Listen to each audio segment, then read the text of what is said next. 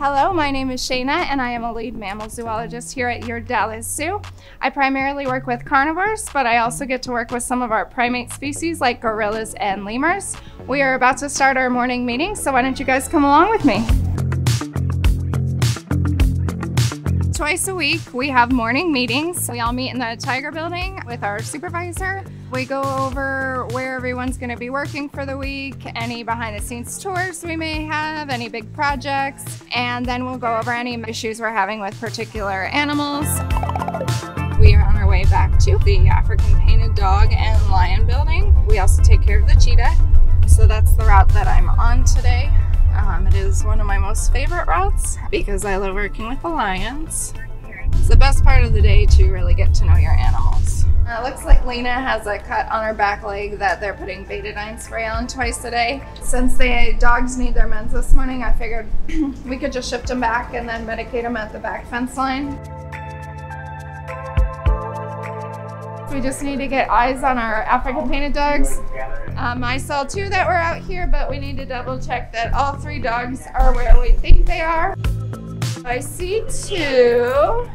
So I was visually able to see Jada and Cholula, but you can see Mazinga was hiding around the rock here. Um, so by using our camera system, I was able to check on him easier.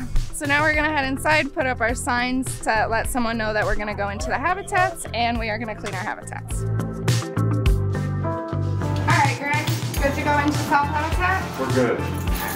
Part of our daily servicing of habitats, we are gonna pick up poop. Uh, we're gonna refresh their water bowls, and then we're just gonna make sure that the habitat is still safe. Woo.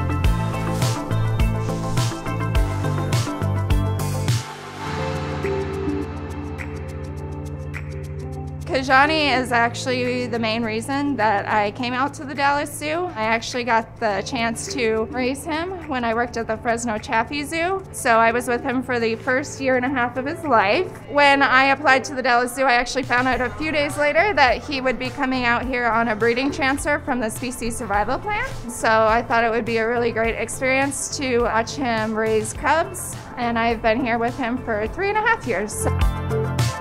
All right, next we're gonna head over to Cheetah. Cheetah is part of our carnivore route. So when we get over there, we're gonna shift him inside and then we are going to change his water, pick up any feces or any leftover food pieces that he may have left, clean the windows so you get a good look at him, and uh, just check the overall habitat.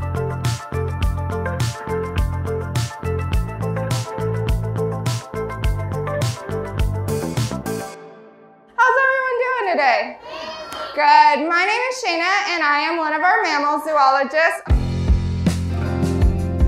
At 10.30 every day we have a predator demo. We can either pull the African painted dogs or any of our lions into the space.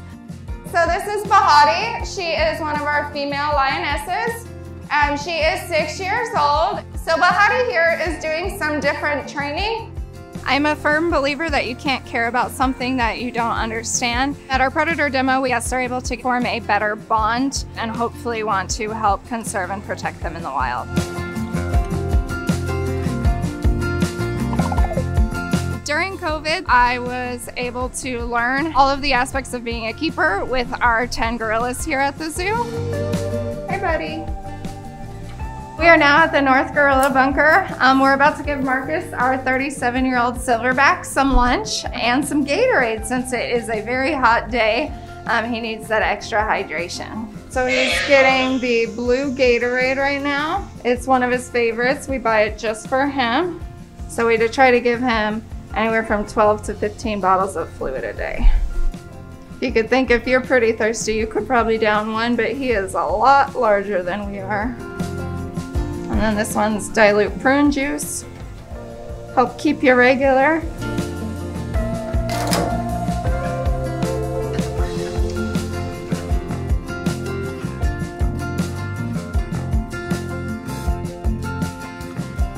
Thank you guys so much for spending the day with me. I hope you enjoyed seeing what the life of a carnivore zoologist is like. We work really hard to make the world a better place for these animals, and I hope to see you guys soon. I gotta get out of here. I have some hungry cats to feed.